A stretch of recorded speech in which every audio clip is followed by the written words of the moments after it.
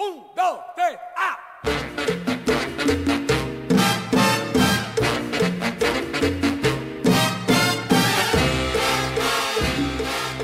Monsiváis como coleccionista eh, tuvo la oportunidad de dar con grabados perdidos de algunos de los principales artistas mexicanos y los rescató eh, para una colección muy importante. Lo mismo hizo con eh, fotografías de, algunos este, artistas ya consagrados.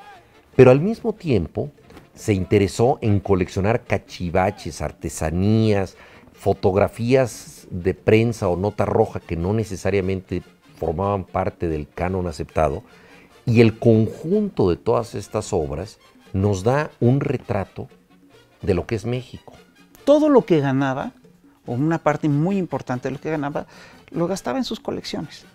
Pero nunca fue un hombre rico.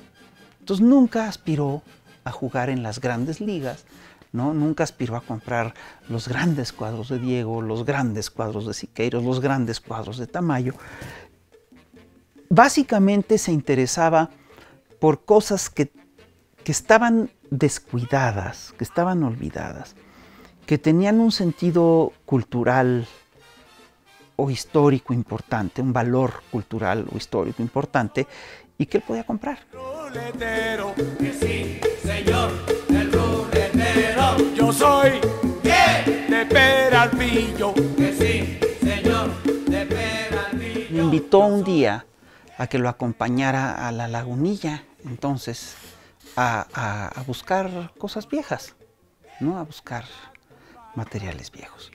Y me impresionó pues, que él ya tenía sus marchantes y de repente empezó a conseguir cosas fantásticas, ¿no? Los sábados a veces nos veíamos con el Fisgón en la Plaza del Ángel y, y bueno, ya, ya le tenían apartado todos los puestos que se ponen ahí, ya le tenían apartado fotos de luchadores, este, objetos, eh, grabados, Iba y, y le encargaba maquetas a los Torres. Y les encargaba las maquetas de las castas y la maqueta del asesinato de Obregón. Yo decía, bueno, ¿y para qué compra esto? Está rarísimo. Se me hacía eh, como que no tenía sentido. Yo nunca, no, no entendía en ese momento este, este afán de, este, de coleccionista de un poco de todo, ¿no? Eh, documentos, revistas, libros, ediciones, las caricaturas, por ejemplo, el que comprara los originales de la familia Burrón, de este señor Vargas, se me hacía raro. Bueno, yo, yo leí el señor Burrón desde niño, ¿no? Pero nunca pensé que fuera parte de, como material de colección. Pero cuando hicimos, cuando él, él- él, eh, hicimos las primeras exposiciones del estanquillo, esas cajas nos sirvieron para todo. Es decir, eh, ahí sí le vi el sentido de tener esas cajas, porque cubrían huecos de la historia de México eh, y eran piezas que te ubicaban, que eran muy bonitas, que tenían mucho sentido, que eran muy atractivas y que te permitían ubicar eh, en el tiempo y en el espacio momentos históricos específicos. ¿no? Porque es decir, que su mirada nos adiestró a entender que la realidad solamente se puede comprender desde una multiplicidad. O sea, no puedes pensar que solo el gran arte refleja lo que ocurrió en una época. Este museo es parte de esa herencia, ¿no? Eh, el descubrir autores, eh, eh, este, escultores, de, eh, pintores, grabadores, en fin, de desconocidos y que pues él, él empezó a adquirir y a coleccionar su obra, ¿no?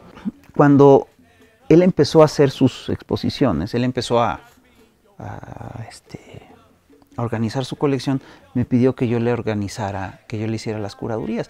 La primera que hicimos fue una exposición en la Biblioteca de México, en la Ciudadela, una exposición que se llama Sin Límite de Tiempo o algo así. Pues, una pequeña muestra, muestra de cosas que él tenía. Yo le ayudé. Luego me pidió que le ayudara a curar una exposición en el Museo de Arte Moderno, una exposición que fue muy padre, una exposición sobre la historia de la caricatura mexicana. Y ya después, cuando se hizo el estanquillo, me pidió que, que yo le curara las primeras exposiciones. Y este, pues la verdad lo hice con mucho gusto y ahora lo sigo haciendo porque pues es mi forma de, de seguir estando con él, ¿no? Ninguno de los otros autores tuvo esa generosidad para con su pueblo, para con su país. ¿Eh? Eso es único de Carlos, su generosidad.